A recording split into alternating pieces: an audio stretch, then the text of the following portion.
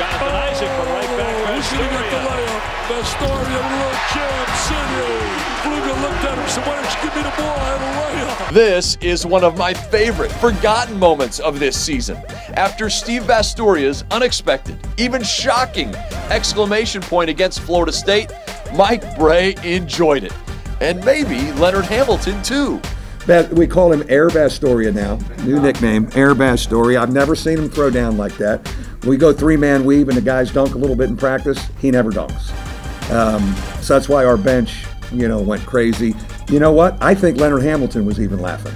Laughing because this is the Steve Vasturia we think of first. 188 career three pointers. He's a big reason Notre Dame is a five seed and trying to make a third straight deep run in the NCAA tournament. Farrell driving, stumbles. Vasturia hits for three, with 2.5 on the clock. But that dunk last month, his high flying caught everyone off guard.